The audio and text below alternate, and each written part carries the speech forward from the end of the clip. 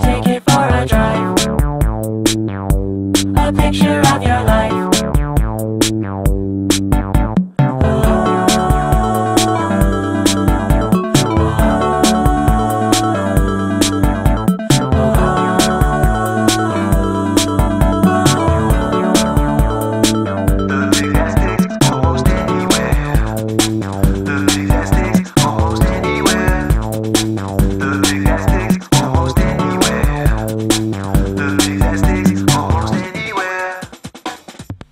a picture of your life.